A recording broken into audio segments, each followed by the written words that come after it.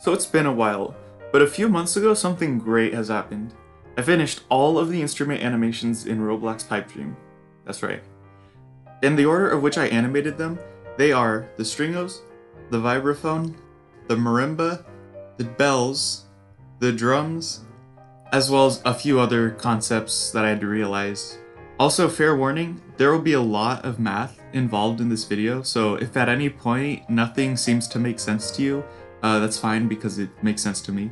To start, I'd like to ask, what is an animation really? Or in other words, how does a computer know what animations are?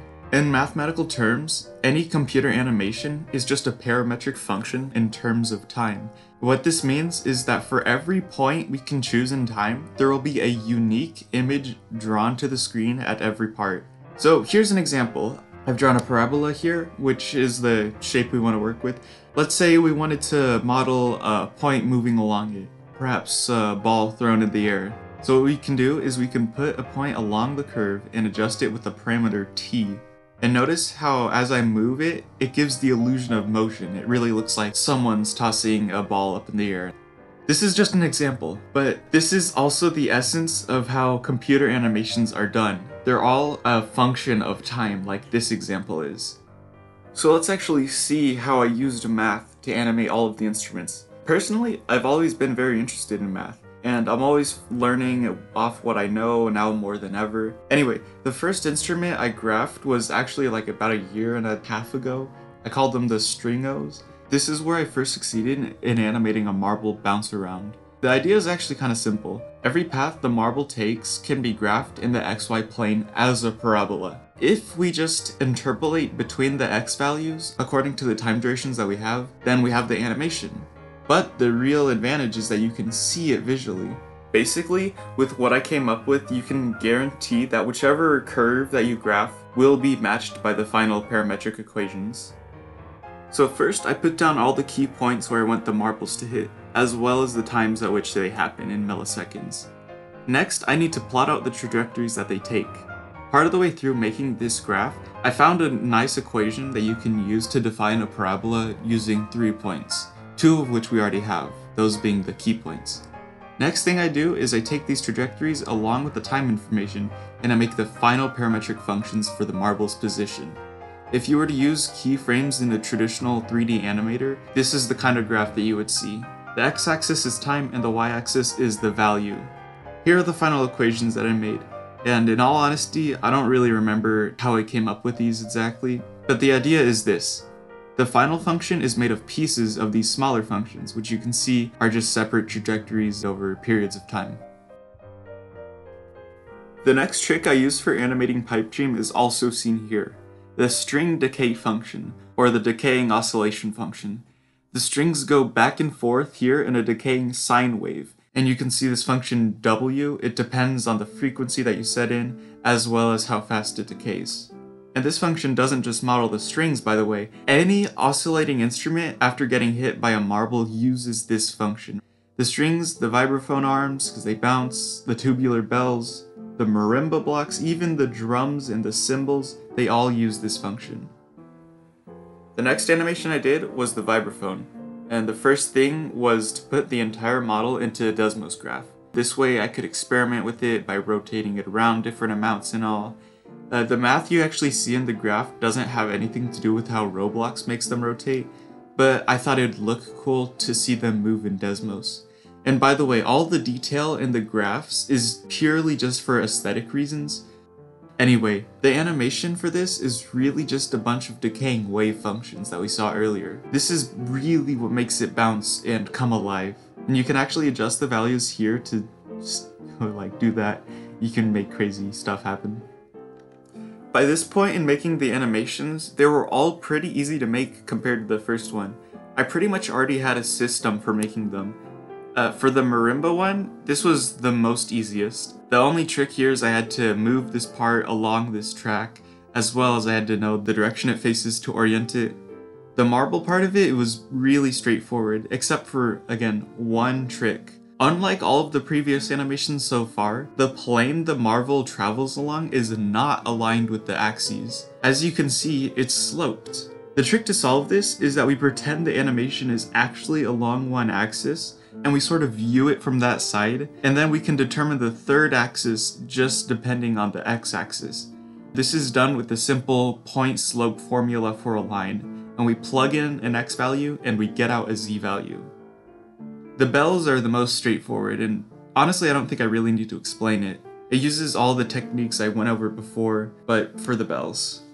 Then I animated the four-way percussion parts, and because they're all really similar, I could just animate one of them and then generalize my code to work on the rest. And because I've implemented object-oriented programming, the base animations are just prototype objects, which means every animation event is just a clone of these base ones. Object-oriented programming also allows me to extend classes off one another. For example, this base 4-way percussion class is called 4W, and from there we use our other animations to extend off of it, which means it's the exact same class but modified slightly. This saves us a lot of duplicate code, meaning if we wanted to modify something all these animations had in common, we would only have to change this one script and then it applies to all of the others. The main drum set animations are exactly like this, but to the extreme. These were by far the most tedious to do. Because there are 10 different trajectories that a marble can take, each one has their own points and numbers associated with it, I had to keep track of this giant table. Here's the Desmos graph for the marble trajectories, and as you can see, it's really involved. If I were to show all of them at once, it would just be a mess, but you can see how all of them play out. In the end, it all worked out though. For every drum animation that's a subclass of the main one, it inputs these points as arguments, and then the marble position is calculated from there. The subclasses themselves are what contain the code for the drum head or the cymbal moving. Here's the Desmos graph for the drum bounce. As you can tell, it's pretty simple. The head just gets moved backwards and the body gets squished and scaled. The cymbals are more complicated and at first it doesn't seem like it's obvious at all, but my approach to them was to use the same decaying wave function I have been, but to offset one of them. The idea coming from my knowledge that two waves offset by 90 degrees describe circular movement, so I tried this with two axes of the cymbals and it worked really well. So far, I've covered all the animations for an instrument being directly hit by a marble, but what about all the other movement, where there isn't a marble hitting them? The answer is keyframes. A basic example for a keyframe is when the tubular bells move up and down in the middle of the song, they play a couple notes and then they move back up.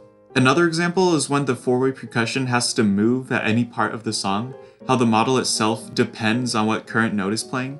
But the secret to do all this is before the song is run, the import MIDI script analyzes the notes for a particular instrument and it looks between the pairs of notes. And really, there are two examples of what we'd use this for.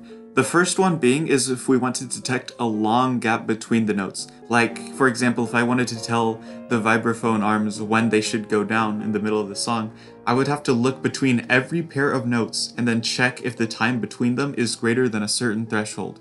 This tells us that there's a period in the song where they don't play.